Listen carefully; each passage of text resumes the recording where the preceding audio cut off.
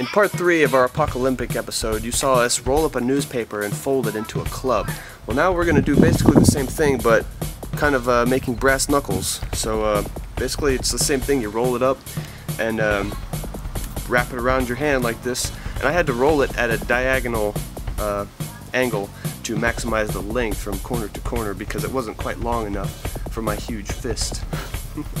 so uh, now we're going to try to smash a coconut.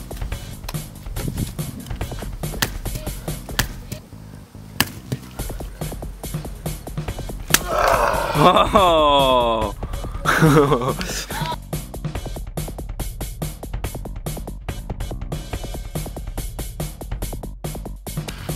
It's not quite exploded enough. I'm gonna give it one more hit.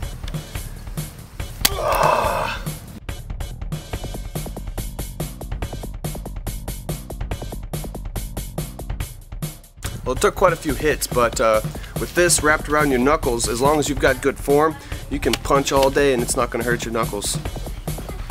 So we've showed you the newspaper club, we've showed you the newspaper knuckles. Now we're going to show you this uh, other thing that people in Thailand do, which uh, because they get mugged and stuff a lot over there. So they just carry around rolled up newspaper like this, rolled up really tight. And so if someone comes up to them, Give me your wallet. You can stab them in the throat.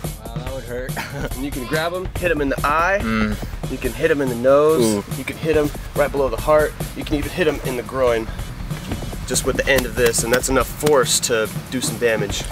But again, if you want to see the a newspaper kind of weapon uh, actually used in one of our heads, just click right here on the annotation below and it'll take you to that. Otherwise, watch this video again, watch our other videos, please share our videos, like our videos, favorite our videos. Anytime you do that, subscribe to our videos. You're supporting us, so please continue to support us. We love you guys, and we will see you next time.